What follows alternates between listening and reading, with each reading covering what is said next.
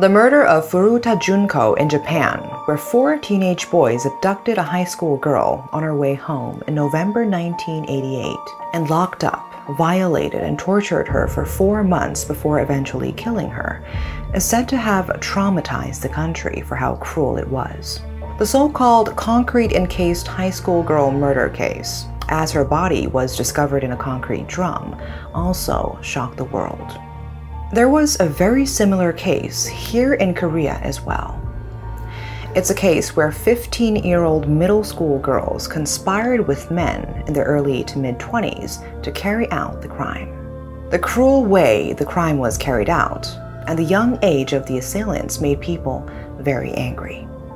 How the girl students harassed their peers in unimaginable ways shocked the nation and made people wonder if our juvenile criminal justice system was emboldening teenagers to indulge in heinous crimes. The description of today's case could be disturbing, so viewer discretion is highly advised. Today's case is the Korean version of the Junko case, the case of the concrete high school girl in Gimhae.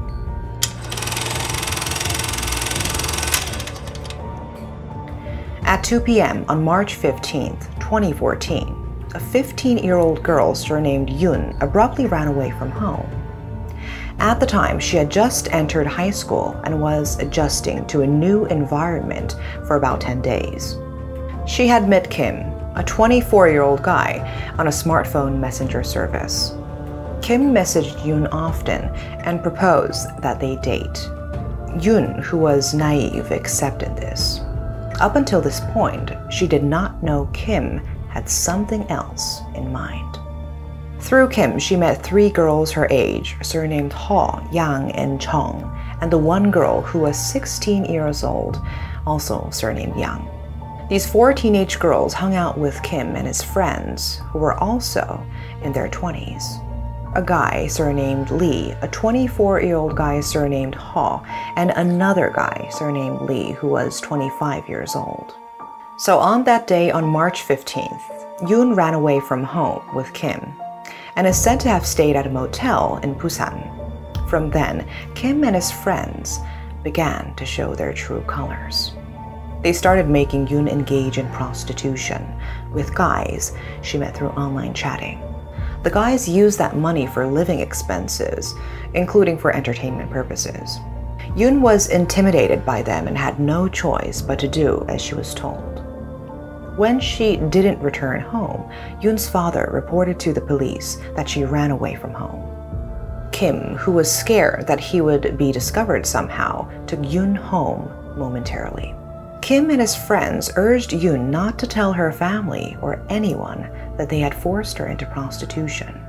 Yoon's father asked his daughter, who had returned home after 14 days with a haggard complexion, what had happened to her.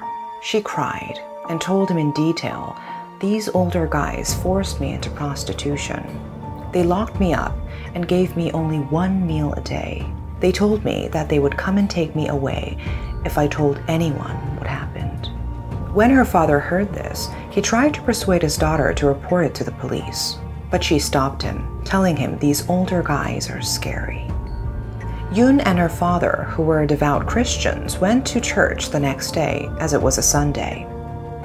They attended different worship services as they are separated according to age. Around noon, after the services were over, Yoon's father came out and realized his daughter was missing. He went to the police station and told officers, My daughter has disappeared.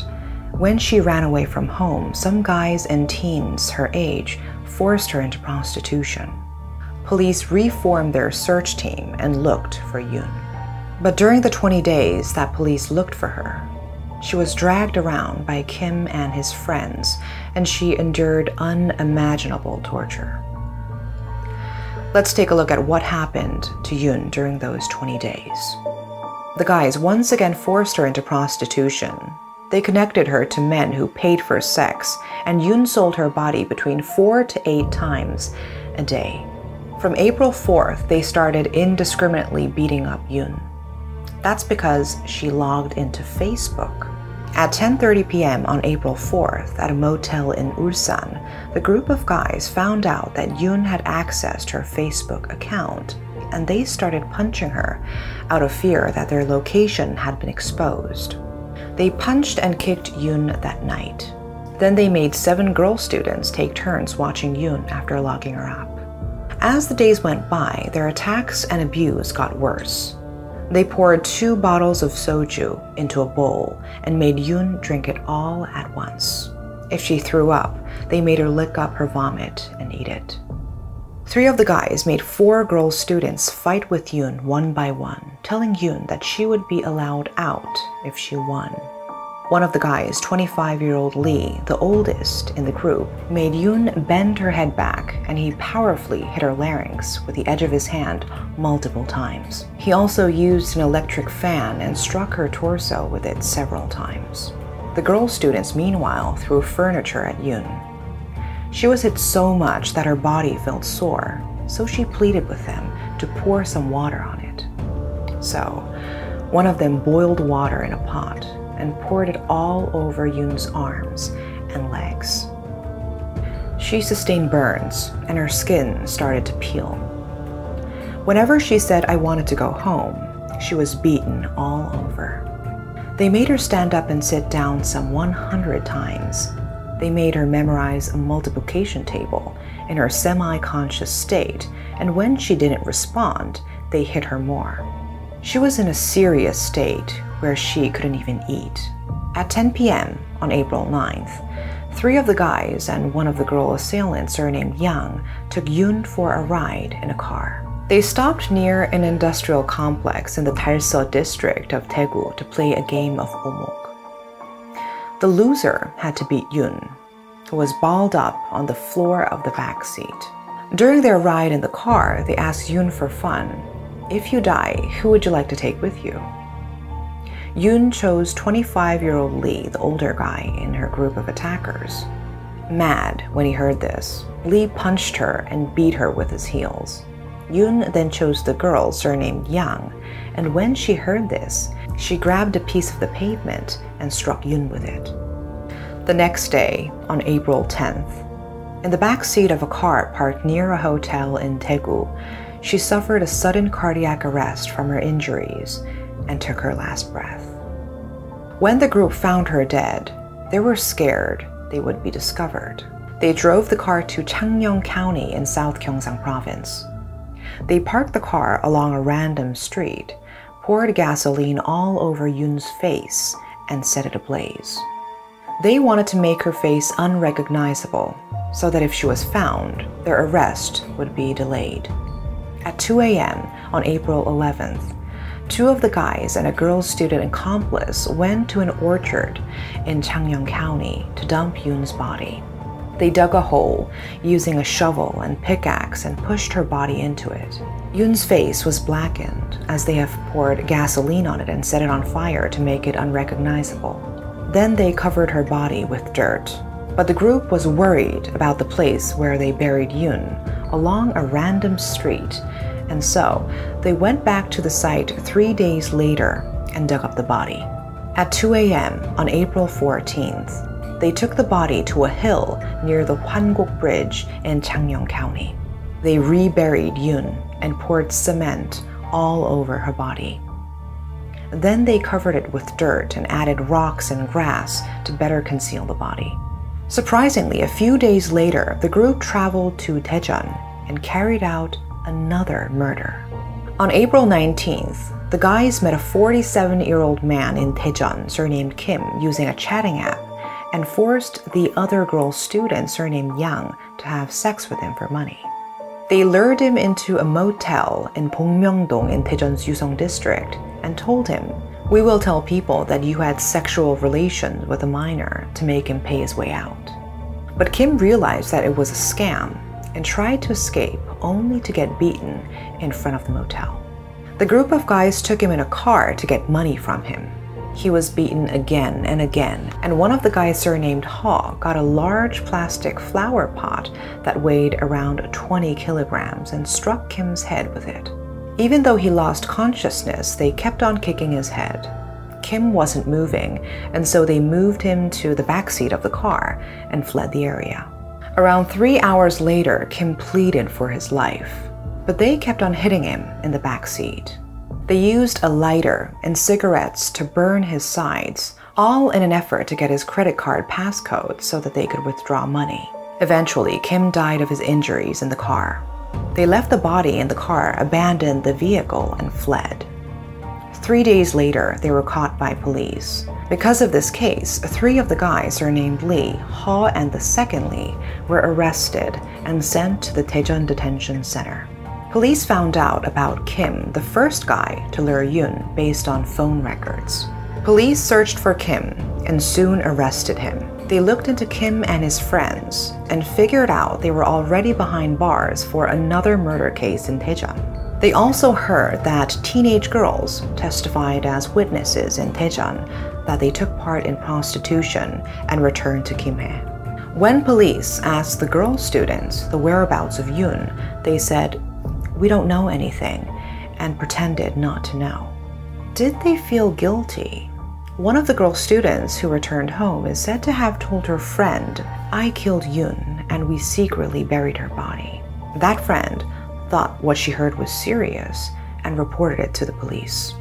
The three guys that killed Yoon were ex cons. One of the guys carried out over 20 crimes, and all three had one or two convictions. A detective with the Gimhae police station that was in charge of this investigation said he had never seen such heinous crimes involving young students. The detective is said to have simply told Yoon's father that his daughter had died without giving him all the details, as it could have been a shock to him. How did the court rule on this case? There were two trials, one in Changwon and the other in Daejeon, as there was the burglary murder case in Daejeon soon after Yoon's body was buried on the hill. On November 11, 2014, the Changwon District Court handed down sentences to the three girl students who were involved in Yoon's assault and death. Yang got between six to nine years in prison, while both Ha and Chong got between six to eight years behind bars. According to the Korean Juvenile Act, when a juvenile gets sentenced to a prison term of two or more years, a sentence has to specify the maximum and minimum terms, meaning that the offender has to serve the minimum term but can get released on parole after that. The accused girls claimed they were forced to carry out those acts by the guys. The judge did acknowledge that the girl students were both assailants and victims, but convicted them as they didn't do anything to stop Yoon's death, even though they knew that she could die. Then there's Kim, the first guy to meet Yoon on the chatting app. Kim said he didn't directly take part in the assaults, but he was sentenced to five years in prison on charges of luring a minor for the purpose of prostitution and aiding and abetting the abandonment of a dead body. But in April 2015, during an appeals trial, Ha and Chong received reduced sentences. The court took into consideration the fact that they grew up in substandard environments. They had a lack of social safeguards, and they showed remorse for what they did. Kim also received a reduced sentence of three years. Meanwhile, on February 13, 2015, the Daejeon District Court indicted two of the guys, surnamed Lee and Ha, saying they were the principal offenders who actively took part in Yoon's assaults, and sentenced them to life in prison. Another guy, surnamed Lee, who was indicted with the other two guys, received 35 years behind bars. They all claimed they didn't have any intentions to kill Yun. they were suffering from impulse control disorders, and they were under the influence of alcohol, all of which were not acknowledged. They appealed their sentences, but the Daejeon High Court dismissed them on July 24th. This brutal case involving teenagers and youth shocked the country. The guys in their 20s and the teenage girls who conspired with them will have to live with this memory for the rest of their lives. One thing we should point out here is that young girls and women who run away from home often get involved with prostitution. Yoon's classmates told reporters that they were sure her being lured by the guys and the girl students was premeditated and that she was targeted. Her classmates described Yun as someone who was shy and quiet and difficult to get to know. Basically, naive teenagers could become easy targets. The accused girl's students were runaways themselves and engaged in some kind of prostitution as well. Before anything else, it's important that we make sure there are social safeguards in place to keep our youth safe and out of harm's way. That's all for today. Thanks for watching.